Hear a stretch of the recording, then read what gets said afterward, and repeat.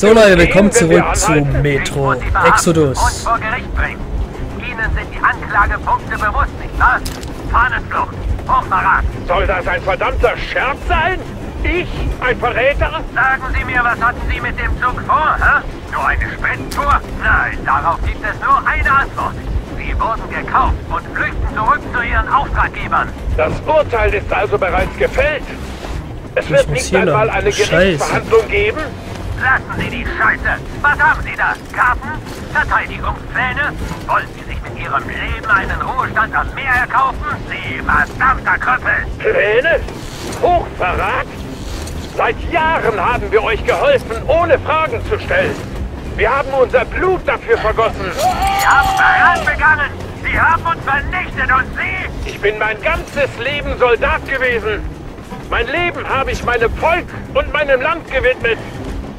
Aber ich will verdammt sein, wenn ich es an Parasiten wie euch vergeude.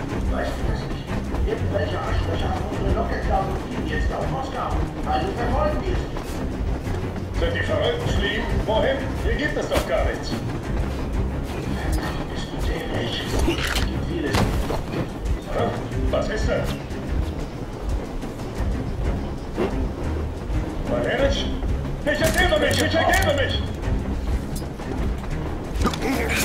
Gar nichts, Junge. Penner. Ah, wieder was zu lesen. Offizieller Brief der Staatenbund der Ri- Ringlinie. Staatskasse an Oberleutnant Taubmann. Mobile Sondereinsatztruppe Kommandant. Herr Oberleutnant, Bezug nehmend auf Ihre Anfrage mit Formular. Wo ist jetzt? Anfrage mit Formular 764-35 habe ich die Notausgabe von 6000 Militärpatronen Kaliber 762 in Gurten zu 200 Schuss genehmigt. Ich muss Sie jedoch an der Konsequenz, an die Konsequenzen erinnern, sollten Sie diese Transaktion nicht als voller Erfolg erweisen. Ihre Operationen sind von unserem Budget eine ständige Belastung, wenn auch nicht ohne einen gewissen Flair. Und daher wohlwollend hingenommen. Dass sie damit ihr Kontingent überschreiten können, liegt nur an der ihnen zugesprochene Vertrauenswürdigkeit. Bei der nächsten Kommandokonferenz wird dies sicherlich hinterfragt werden. Ich hoffe, Sie haben Verständnis dafür, dass Sie dieses Mal unbedingt ein zufriedenstellendes Ergebnis abliefern müssen. Unterzeichnet Y. Woloschkowski, Schatzmeister. Okay. Interessant.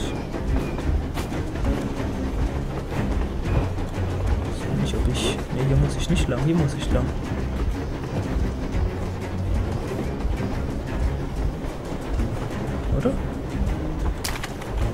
Weiß nicht.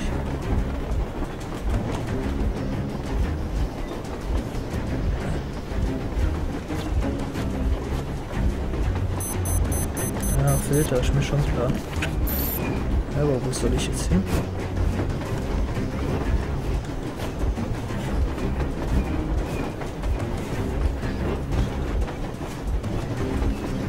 Hier irgendwas machen?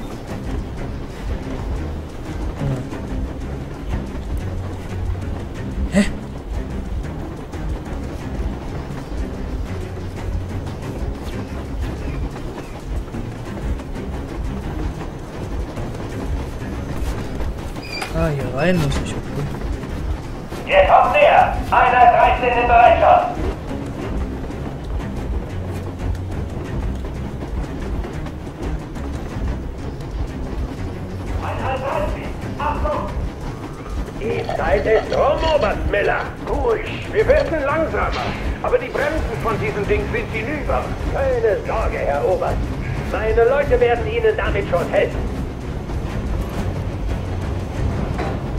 Komm schon ganz ruhig da die langlaufen.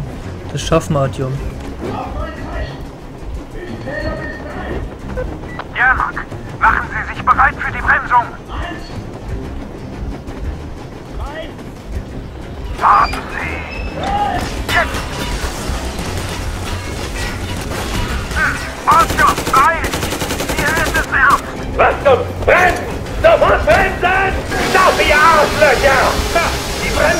Kavaliers wieder. Die gottverdammte Mistkerl. Wir hätten sie auf der Stelle erschießen sollen. Und warum haben sie es? Befehl, die Befehl nicht zu fangen. Halten Sie den Befehl zur lebendigen Gefangenen. Hilfebefehl. Nur sichtbare Ziele angreifen. Und die Lopfer schon. Nicht auf den Kessel schießen. Achtung, Feind den Druck. Du Adler.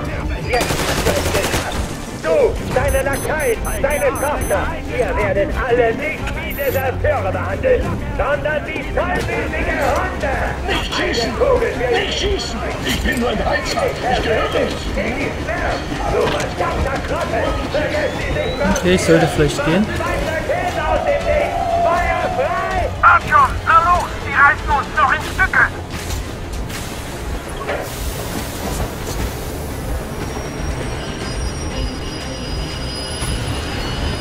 Komm schon, springen, Gun. Boah. Scheiße. Warte!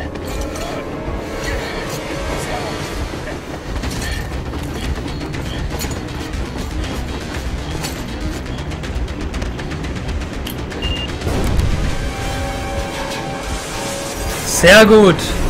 Ja, Mann. Schau, du. Pennerzug. Oh mein Gott, Artyom, Gott sei Dank geht es dir gut.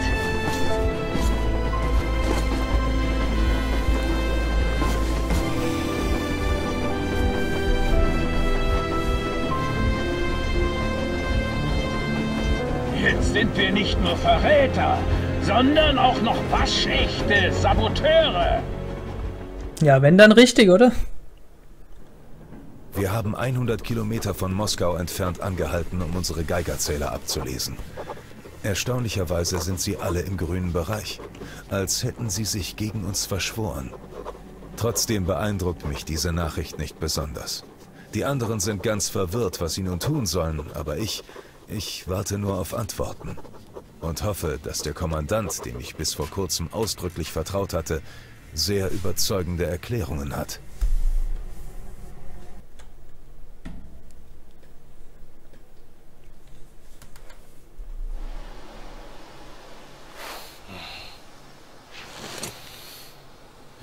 Die Trauer? Wir sind an einem kritischen Punkt angekommen. Und wir alle fragen uns einfach, wie es jetzt weitergehen soll. Ja, das dachte ich mir fast. Aber ihr habt wohl schon kapiert, wie die Dinge stehen. Funktioniert dein Zähler denn? Hast du mal nachgeschaut? Ja, alles im grünen Bereich. Hab's zweimal überprüft. Stepans Zähler zeigt auch grün. Wir brauchen hier keine Masken. Also, haben sie die Wahrheit gesagt? Wer hat die Wahrheit gesagt? Warum antwortest du nicht? Wer waren diese Leute, die uns umbringen wollten? Warum sollten sie auf dich, den Kommandeur des Ordens, schießen? Erklär uns das wenigstens, das schuldest du uns. Naja, dann kann ich die Bombe auch genauso gut gleich platzen lassen. Der Krieg ist nicht vorbei. Was soll das heißen, er ist nicht vorbei? Lass mich ausreden. Die meisten Städte wurden zerstört. Der Rest des Landes ist vermutlich unter feindlicher Besatzung. Um Atomangriffe gegen uns zu vermeiden, hat das Kommando die einzige Möglichkeit gewählt. Sich totstellen. Um Funkstille zu gewährleisten, wurde das Schildsystem aufgebaut. Ein Netzwerk aus Störsendern, das Moskau und die Vororte abschirmt. Damit ein paar Hobbyfunker mit ihrem Gewinsel keine weiteren Bomben provozieren. Und einige dieser Störsender wurden von den hier Anwesenden ausgeschaltet. Hättest du das nicht vorher sagen können? Zum Beispiel bevor Artyom mit dem Funkgerät nach draußen ging und all die Strahlung abbekam? Nein, ich wurde erst vor einem halben Jahr ins Bild gesetzt. Unter der Prämisse, sprichst du, stirbst du. Daher musste ich meinen Leuten sagen, wir hätten eine Wetterstation zu sichern. Herr Oberst, bei allem Respekt, wenn wir nicht zurück können, sollten wir vielleicht nach vorne blicken? Ich habe da eine Idee, aber... Artyom, anstatt mit dieser stummen Missbilligung weiterzumachen, solltest du lieber die Funkfrequenzen überprüfen. Wir müssten jetzt außerhalb des Bereichs der Störgeräte sein. Also probier es mal. Suche nach Funksprüchen von der Arche. Verstehst du jetzt, warum wir in den Augen des Kommandos Verräter sind? Wir haben einen Störsender ausgeschaltet, die Wache erschossen, einen Patrouillenzug zerstört und sind aus Moskau geflüchtet. Wer braucht schon eine Verhandlung, wenn der Fall so klar ist? Es gibt jetzt kein Zurück mehr. Was bedeutet, dass wir nach vorne durchstarten müssen? Kommando? Wovon redest du denn da? Das Moskauer Verteidigungskommando. Hast du jemals von den unsichtbaren Beobachtern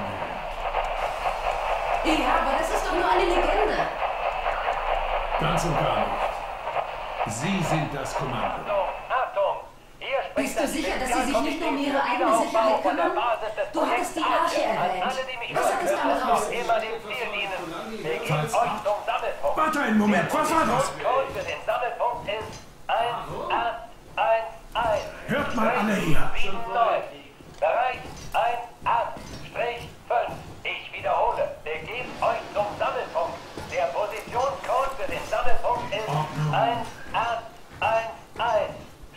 Diese Nummer sein?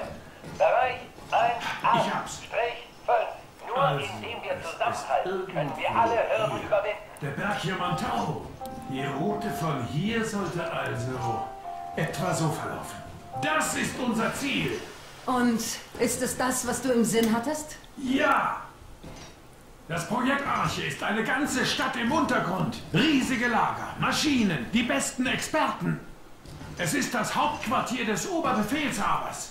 Alle Führungskräfte des Landes sind dort. Sie haben bereits mit dem Wiederaufbau begonnen. Wir werden Ihnen sagen, dass Moskau noch lebt. Es war nicht alles umsonst. Alles wird sich ändern. Alles, verstehst du? Ein neues Leben beginnt. Für alle Überlebenden des Kriegs. Wahnsinn, gibt es dort alleinstehende Frauen? Gut reagiert. Ich finde, der Moment schreit geradezu nach hm, Schenk ein, Damir. Was soll ich einschenken, Herr Oberst? Das Zeug, das in deiner Feldflasche herumschwappt. Meinst du, ich wäre taub oder was? Ah, das. Ah, für einen Moment dachte ich, meine Ohren täuschen mich. Die Reise zum Ural ist nicht gerade kurz. Daher sollten wir es uns wohl gemütlich machen. Wie wär's? Sollen wir diesem Schrotthaufen einen Namen geben? Wird aber auch Zeit. Lasst sie uns Anna nennen und gut ist. Ach, fahr zur Hölle. Noch besser. Ach, komm schon. Wie wäre es mit Aurora? Die römische Göttin der Morgenröte und dieser Kreuzer. Äh, ihr wisst schon was. Schon besser. Nicht schlecht. Gefällt mir. Ein schöner Name! Klingt ganz gut, aber was für ein Kreuzer. Na, sag ich dir später. Dann ist das wohl beschlossen. Treten wir auf die Aurora!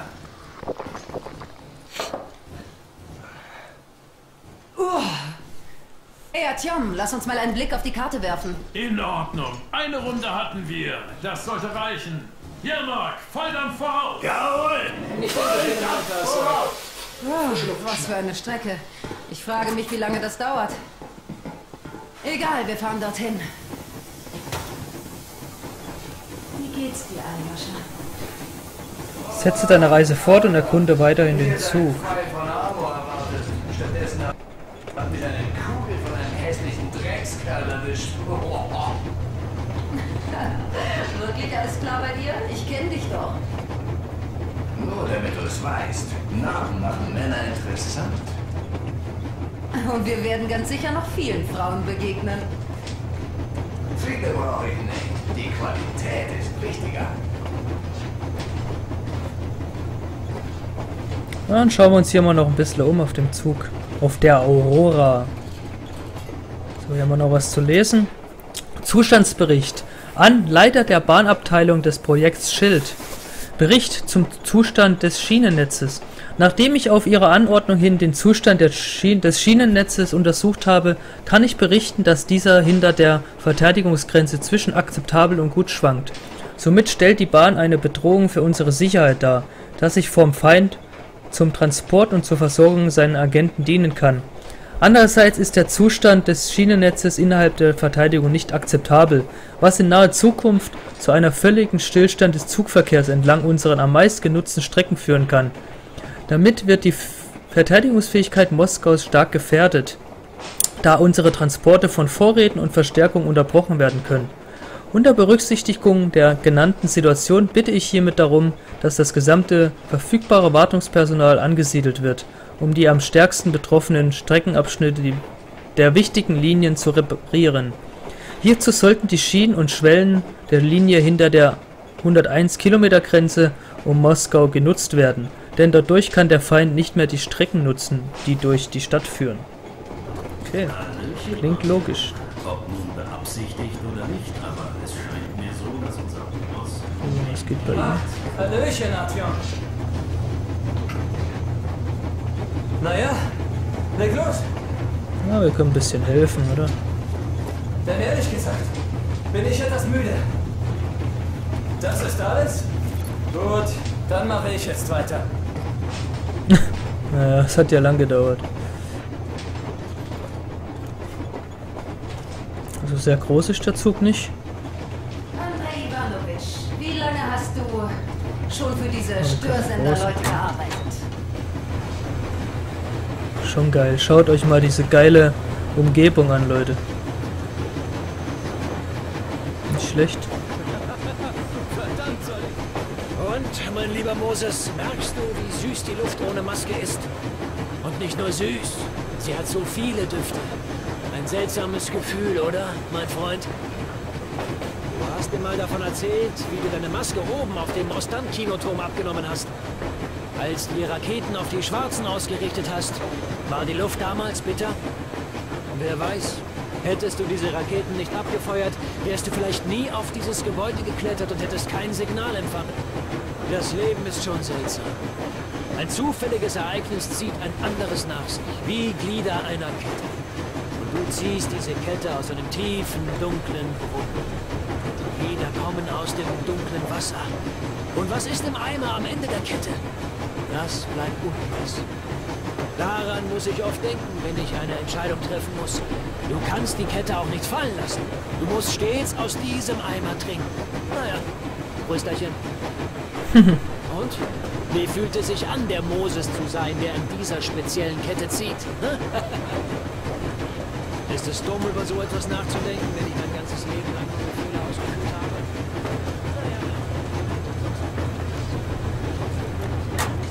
Etwa ein Jahr, schätze ich. Anfangs wollten sie mich haben, weil ich Erfahrung darin besaß, anderen zu helfen. Sie erzählten mir von den Wetterstationen und Beobachtungsstationen für Ah, rauchen wir erstmal eine. Artyom, was geschehen ist, ist geschehen. Ja, ich habe dich nicht davon abgehalten, rauszugehen. Ja, ich habe versucht, es dir auszureden. Ja, ich habe dir nicht gesagt, dass wir nicht die einzigen Überlebenden sind. Aber ich hatte damals auch noch nicht die Freigabe. Das ist ein Staatsgeheimnis, verstehst du? Ich habe die Freigabe erst nach unserem Kampf um D6 bekommen. Sie sagten, ich müsste ihre Rekruten ausbilden, weil der Krieg noch nicht vorbei sei. Meinst du nicht, ich war schockiert? Wofür waren unsere Leute dann in D6 gestorben? Wofür habe ich meine Beine verloren? Aber ich verstand es. Weil der Krieg noch tobte, war die Sicherheit vorrangig. Unsere Leute hätten das verstanden. Also bitte, tu du es auch. Du hättest das bei allen in der Metro ausgeplaudert. Du bist ein gottverdammter Prometheus, ein Messias. Du musst das Volk aus der Höhle führen. Meinst du, du hättest irgendwen gerettet? Erinnerst du dich an den Störsinn? Was, wenn Moskau wegen dir gefunden worden wäre? Was, wenn Raketen zu uns unterwegs gewesen wären? Ja, ist natürlich richtig. Egal, was Sie von mir halten. Ich bin kein Deserteur. Und ich werde auch nie einer sein. Ich bin bereit, die volle Verantwortung für alles zu übernehmen. Aber wenn auch nur die geringste Chance besteht, mich zu entschuldigen, dann nutze ich sie. Was bedeutet das wir wie ein Läufer nicht Spaß, Ihnen helfen zu können. Gleichgewicht zu halten. Dann, vor etwa zwei Monaten, luden Sie einen ganzen Haufen Leute. Nach dieser langen Zeit im Untergrund ist die Luft an der Oberfläche unglaublich frisch und berauschend. Aber das war es nicht, was unsere Euphorie angefeuert hat. Unsere Reise hat endlich einen Sinn bekommen. Durch einen Funkspruch des Regierungsbunkers im Ural. Seit 20 Jahren haben wir gedacht, dass weder die Regierung noch das Oberkommando des Militärs überlebt haben. Und jetzt stellt sich heraus, dass es sie noch gibt. Wo waren sie, während wir uns in der Metro gegenseitig bei lebendigem Leibe gefressen haben? Sobald wir Yamantau erreichen, werden wir ihnen eine Menge Fragen zu stellen haben, sofern wir dort ankommen. Laut Miller sind die Ruinen unseres Landes unter Kontrolle des Feindes und wir werden uns zu unserem Ziel durchkämpfen müssen. Ein kleines Team gegen eine Besatzungsmacht. Wie stehen die Chancen, dass wir gewinnen? Dass wir Antworten bekommen? Ja, steht, glaube ich, sehr schlecht.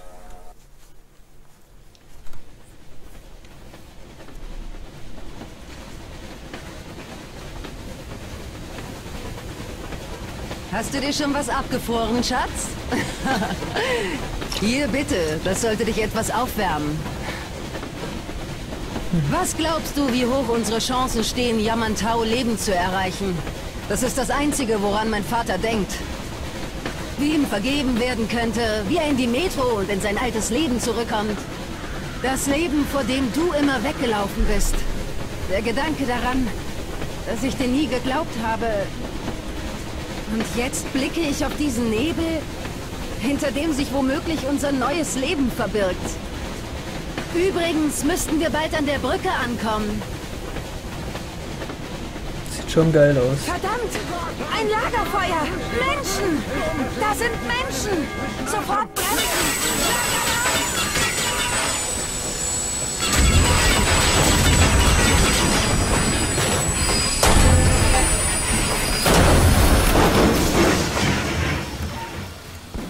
Schüsse! Vier Personen auf einer Dreisine. Was? Alle Mann auf dem Führerstand melden. Beeilung!